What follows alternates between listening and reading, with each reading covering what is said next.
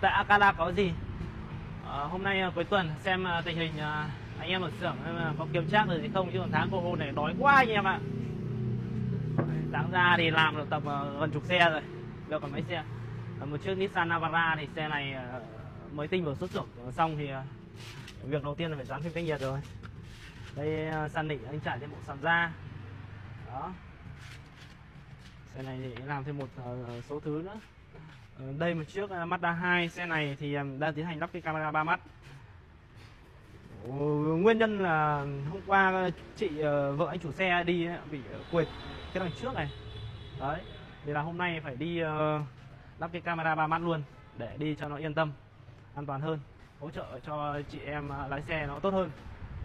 Trong này một chiếc Hyundai i10 xe này thì ờ, đang tiến hành dán phim cách nhiệt. Xe này thì sẽ bóc cái phim cách nhiệt cũ của xe đi và dán lại phim cách nhiệt, nhiệt mới. Tuy nhiên cái nhiệt cũ của xe thì sau vài năm sử dụng bây giờ nó bạc hết màu và đi nó rất là nóng rất là nắng. Nên là đã qua em dán một gói phim phổ thông đó là phim cách nhiệt Techco Hàn Quốc.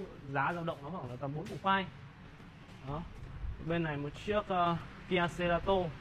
Xe này thì uh, spa lại thì xe này ờ, bên mình ờ, dọn dẹp. Vệ sinh khoang máy. Đó. đây Ờ, đây- là động cơ khoang máy ờ, sau khi mà vệ sinh xong nó sẽ sạch như thế này. Đó. anh em nhìn như xe mới luôn, đúng không ạ? Anh em mà sử dụng xe ô tô rất là 9 tháng đến 12 tháng mà ờ, chưa đi vệ sinh khoang máy thì anh em nên đi ra các gara vệ sinh khoang máy định kỳ để đảm bảo sao mà cái khoang máy luôn được sạch sẽ. Các cái chi tiết đầu nhựa cũng như là các cái gioăng cao su khi mà vệ sinh xong, bảo dưỡng xong thì tuổi thọ nó cũng sẽ cao hơn.